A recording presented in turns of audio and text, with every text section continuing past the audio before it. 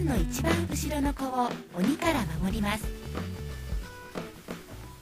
When I was a little young boy, long, long time ago, almost 65 years ago, we played Kotoro Kotoro play with my friends at school.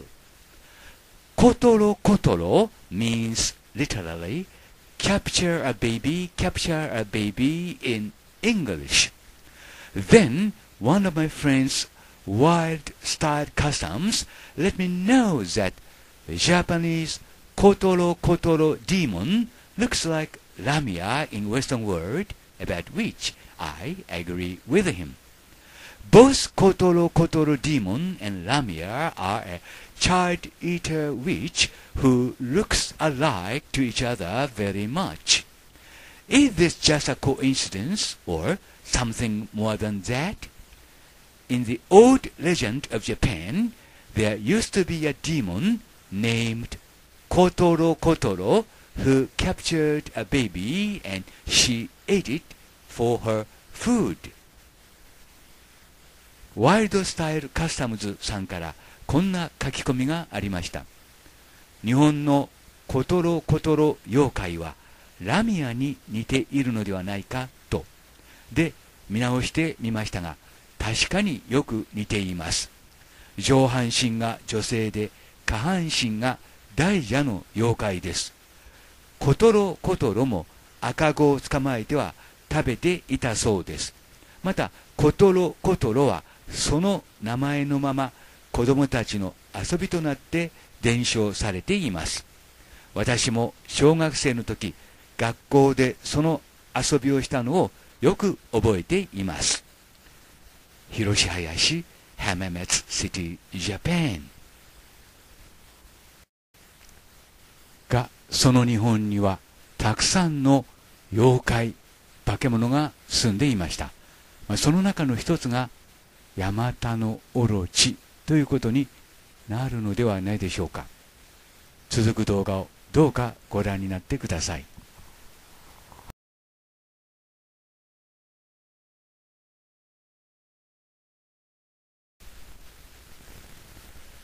In Greek mythology, the Hydra, which is also called Lernaean Hydra, is a serpent-like monster with nine heads. Again, with nine heads. According to Theogony 3.13, the Hydra is a child of Typhon and Echidna. Hercules, or Heracles in Greek mythology, kills Hydra as one of his labors. The Hydra lived in the lake of Lerna in the Argalid. The lake itself is older even than the Mecanian city of Argas. Lerna was the site of the myth of the Danaidas too. The Hydra is a nine-headed serpent-like snake and it was said that if you cut off one Hydra head, two more grow back. Here in Japan, it is interesting to know that we have the same legend of a serpent-like monster with nine heads. Many places in Japan have the name of nine-headed dragon, such as Nine-Headed River and Nine-Headed Dragon Shrine, which was dated back to 9th century. Also here in Japan, you may hear the name of the legend of Eight-Forked Dragon. You see, Nine-Headed Dragon and Eight-Forked Dragon are the same dragon with nine heads. えクズ竜、つまり9つの頭を持った竜の伝説が日本のあちこちに残っています。ヤマタノオロチの伝説もあります。つまり、8つの股。ここが重要です。8つの股を持った竜という意味ですが、クズ竜もヤマタも同じです。9つの頭があれば、その頭の間には8つの股ができます。その九頭竜伝説の本拠地といえば、戸隠神社ということになります。白山権現、つまり白山信仰の起源にもなっています。戸隠の九頭竜伝承について、ウィキペディアは次のように書いています。官標元年、つまり889年の6月、平泉寺の白山権現がシ都の前に姿を現して孫尊を川に浮かべた。すると、9つの頭を持った竜が現れ、孫尊をいただくようにして川を流れ下り、黒竜大明神の対岸に泳ぎ着いたという。以来、この川を九頭竜川と呼ぶようになった。なお、白山海山の起源は、十一面観音の化身である九頭竜王が大長の前に現れたことによる。また、白山権現は、口述の九頭竜出現伝承にも関わっている。その九頭竜は、9つの頭を持った竜は、ギリシャ神話に出てくるヒュドラ、つまり9つの頭を持った大蛇伝説と内容が一致します。広島市浜祭りジャパン。えー、先にも言いましたように、クズ竜、つまり9つの頭を持った竜の伝説は日本全国あちこちに残っています。と同時に、クズ竜、竜の祭りをしている町、村もたくさんあります。まあ、こうして眺めてみるとですね、日本と九頭竜というのは大変深い関係があることがわかります。そしてその一つがヤマタノオロチ伝説ということになりますが、九頭竜とヤマタノオロチ、関係があるのかないのかということですけども、繰り返しになりますが、9つの頭があれば、その間には8つの股ができます。つまり、同じ竜ということになるのではないでしょうか。その中でも、特にこの中部地方にはですね、九頭竜の名前が残っているところがあちこちにあります。代表的なのが九頭竜川ということになりますけども、その中でも特に白山山中にある戸賀神社ということになるのではないでしょうか。つまり、九頭竜信仰のメッカとも言われている神社です。で、皆さんにも考えていただきたいことはですね、これらの事実、つまり、九頭竜、あるいはヤマタノオロチでも良いわけですけども、9つの頭を持った竜と、ギリシャ神話の中に出てくるヒュドラ、やはり9つの頭を持ち、8つの股を持ったヒュドラの話がですね、偶然の一致として片付けてしまって良いものかという点です。今ご覧いただいているのはヒュドラ伝説の内容です。詳しくはこの続く動画の中で翻訳して皆さんにお読みいただきますけども、ありえない偶然ではないでしょうか。つまり、確率論的にありえない偶然ということになるのではないでしょうか。いろいろな動物がいます。その中でも大蛇が共通しています。と同時に、いろいろな数字があります。が、その中でも9という数字が一致しています。クズ竜、ヤマタノオロチ、そしてヒュドラです。ということで、続く動画をどうかご覧になってください。Bye for now.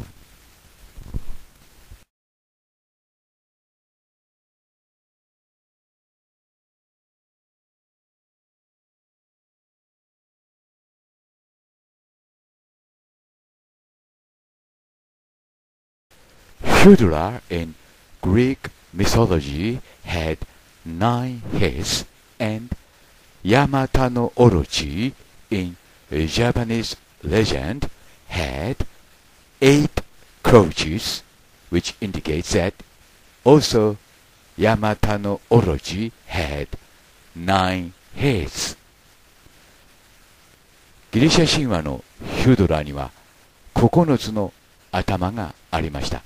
一方、日本の神話のヤマタノオロチには8つの頭があったと言われていますけども、しかし、ヤマという意味は8つの股という意味です。つまり、頭と頭の間の股が8つあったという意味です。ですから、漢字でヤマタのおろしと書きます。8つに分かれた大蛇という意味です。なわち、ヤマタのオロチにもですね、9つの頭があったということになるのではないでしょうか。ここが今日の大変重要なポイントですから、もう一度復習します。ヤマタのオロチというのは、8つの股を持った大蛇という意味です。つまり、ヤマタのオロチも9つの頭を持っていたということになるのではないでしょうか。ヤマタイコール8つの頭ではありません。日本ではヤマタイコール8つの頭と解釈して、ヤマタのオロチには8つの頭があったと言われていますけれども、実はヤマタのオロチもヒュドラと同じ9つの頭があったということになるのではないでしょうか。もう一度この図を見て考え直してみてください。ヤマタのオロチにはヒュドラと同じ9つの頭があったということになります。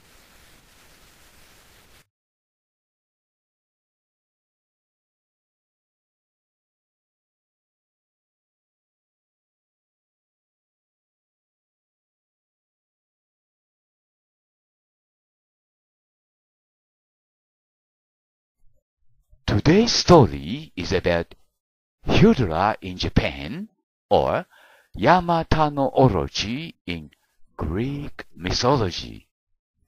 Both stories are very much look-alike or similar to each other over thousands of kilometers. Here in Japan, you see a very similar story of Hydra or a monstrous serpent with nine heads in Greek mythology. As to Yamata no Orochi, Wikipedia writes that Yamata no Orochi or Orochi translated as the eight-forked serpent in English. Yamata no Orochi legends are originally recorded in two ancient texts about Japanese mythology and history. The 680 AD Kojiki transcribes this dragon's name as Yamata no Orochi and 720 AD Nihongi writes it as Yamata no Orochi. In both versions of the Orochi myth, the Shinto storm god Susanoo or Susanoo is expelled from heaven for tricking his sister Amaterasu, the sun goddess. It is just a coincidence that both Hydra in Greek mythology and Yamata no Orochi in Japanese legend are so much similar to each other? 日本のヤマタノオロチ伝説とギリシャ神話のヒュドラ伝説はあまりにもよく似ています。それはただ単なる偶然なのでしょうか広し林浜祭りジャパン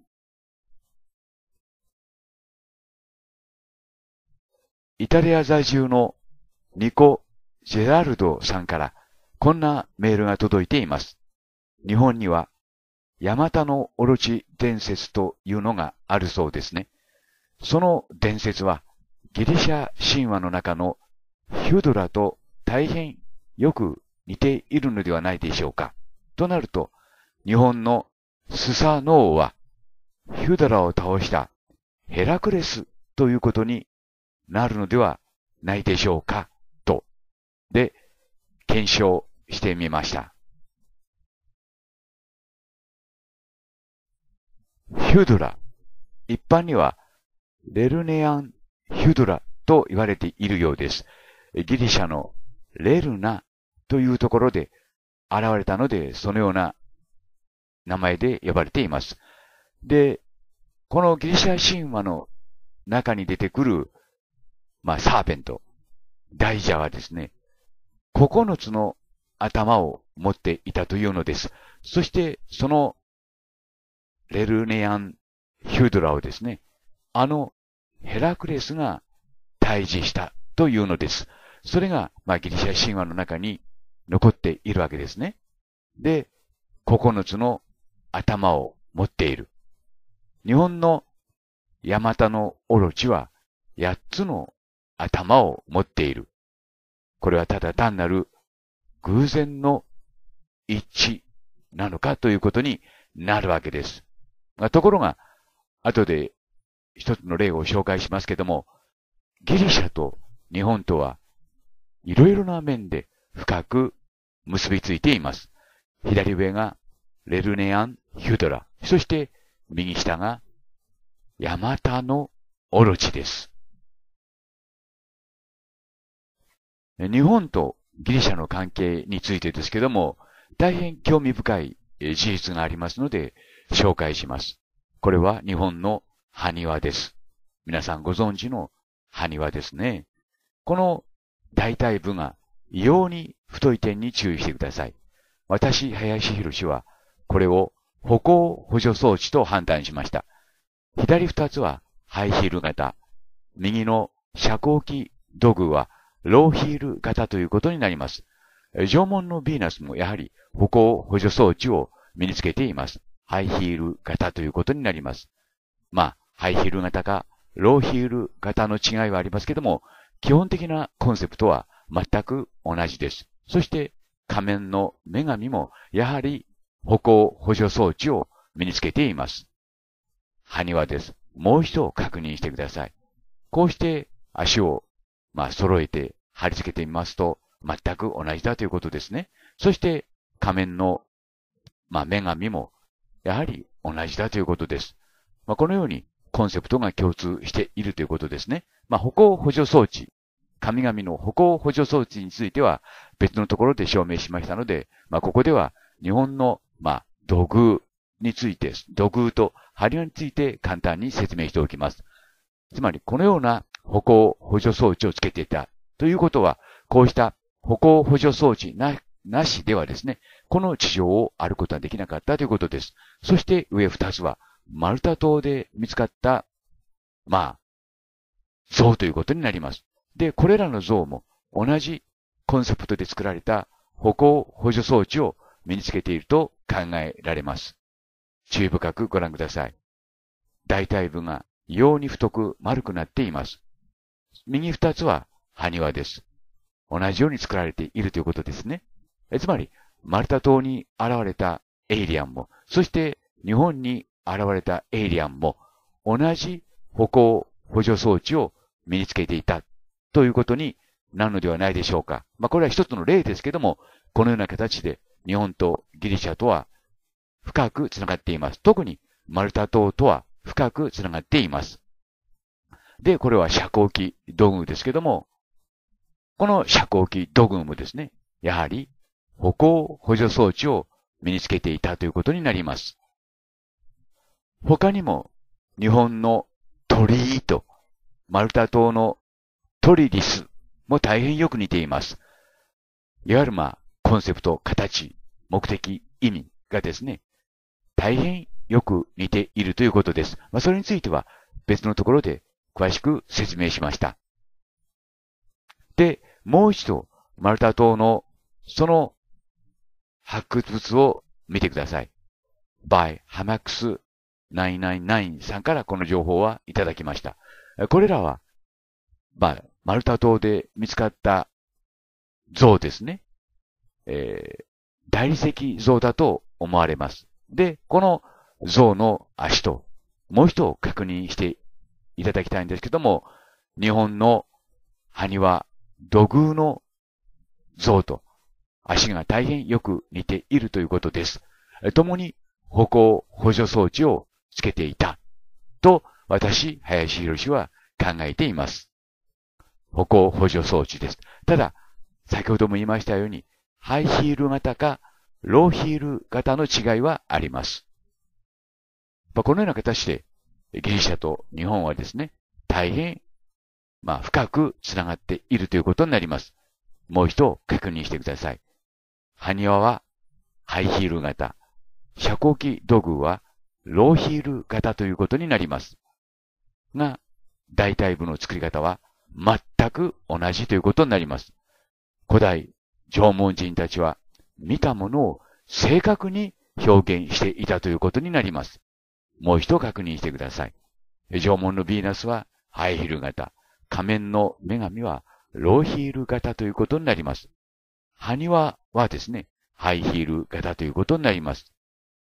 が、しかし、その基本的なコンセプトは全く同じであるということですね。そして、左上のマルタ島で見つかったこの大理石像もやはり同じ歩行補助装置を身につけていたと考えられます。まあ、このような形でギリシャと日本は大変深く、まあ、深いつながりを持ってつながっているということになります。で、その中の一つが、例えば、神話ではないかと思うわけです。ヒュドラとヤマタノオロチ。ヤマタノオロチとヒュドラ。ということになります。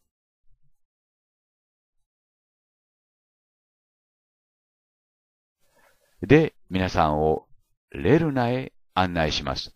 レルナという、まあ、神話に出てくる場所はですね、地名として現在も残っています。そのレルナへ皆さんを案内します。ギリシャです。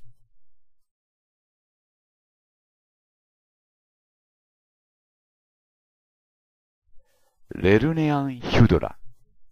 ヒュドラ、つまりヘラクレスに殺された9つの頭を持つ海蛇。ヘラクレスの2番目の仕事はレルネアン・ヒュドラを殺すことであった。レルナと呼ばれる場所の近くにある濁った水の中からヒュドラが出てきて、そしてその地方を恐怖に陥れていた。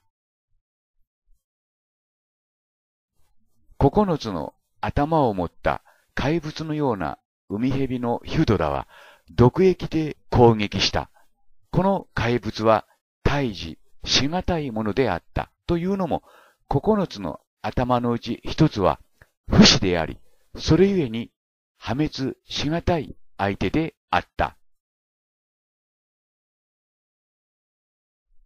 ヘラクレスは九つの頭を持ったヒュドラの脅威を取り除くために出発したが、一人で出かけたわけではなかった。信頼のおける老いのイオラウスが彼のそばにいた。イオラウスというのはヘラクレスと共に12の仕事の多くに同行し、数多くの冒険を一緒にした人物である。イオラスというのは伝説によればオリンピックでの戦車レースで優勝したことがあり、そのためイオラスはしばしばヘラクレスの戦士として表現される。最初にヘラクレスはトグロを巻いた化け物を炎の矢を射ることでその巣穴からおびき出した。ヒュドラが現れると、ヘラクレスはそれを捕まえた。その怪物は簡単にはやっつけることができなかったというのも、9つの頭のうち1つがヘラクレスの足に絡み、ヘラクレスをして逃げることができなくしてしまったからである。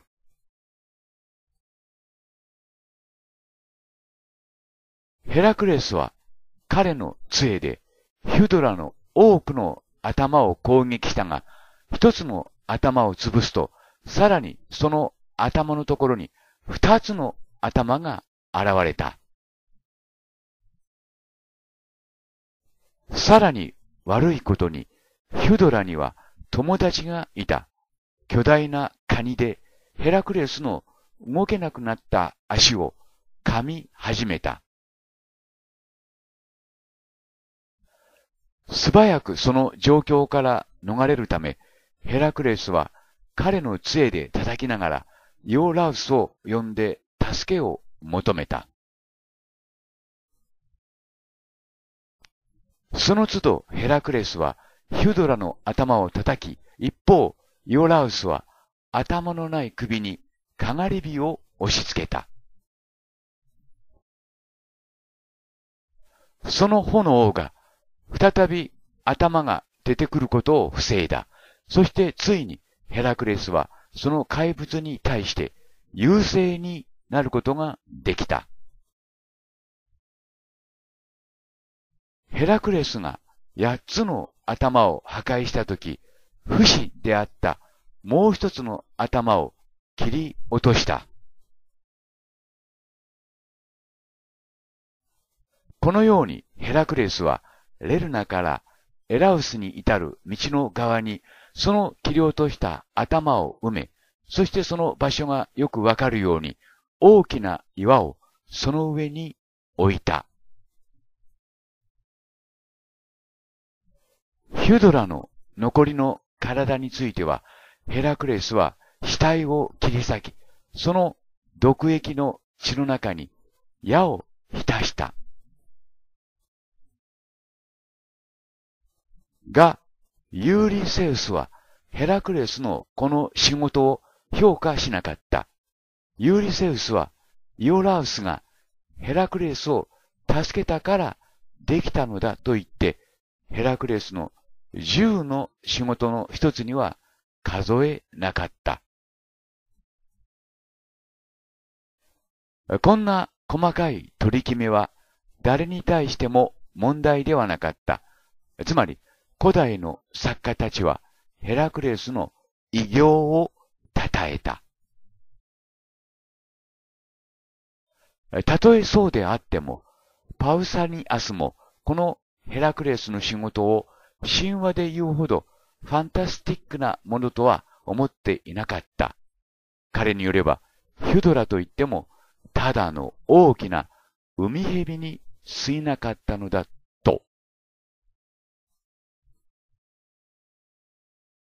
その場所には、網もねが大きな木となっており、人々が言うには、その下で海蛇のヒュドラが育ったということである。というのが、以上、ヒュドラ伝説の内容です。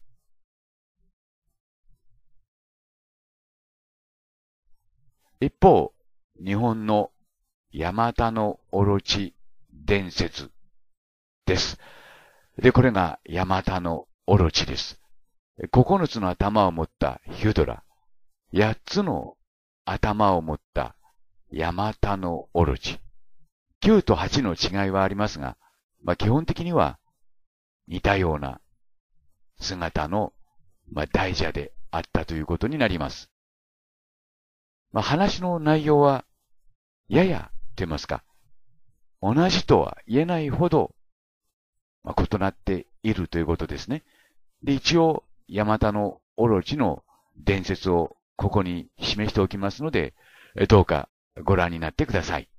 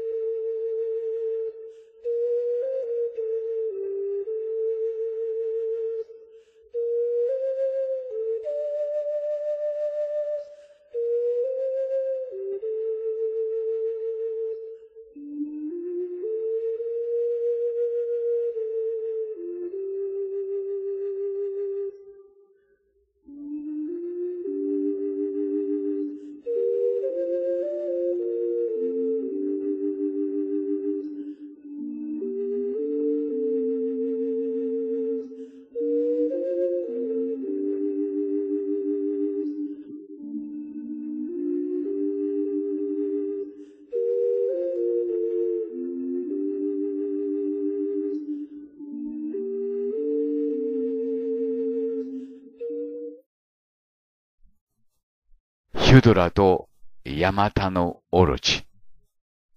今も言いましたように、頭の数が9と8の違いはありますけども、偶然の一致という風にして、どこか片付けられない面があるわけですね。まあ、それについては、この動画の次に、えー、その動画を紹介しておきますが、先ほども言いましたように、ギリシャと日本とは大変深い、まあ、つながりを持っているように、私は判断しています。まあ、ともかくも結論を言いますと、ヒュドラとヤマタのオロチ。ヒュドラを退治したのがヘラクレス。ヤマタのオロチを退治したのがスサノオということになりますと、ヘラクレスイコールスサノオという、まあそういう考え方も生まれてくるということになります。この結論は今しばらくペンディングということにさせてください。Bye for now.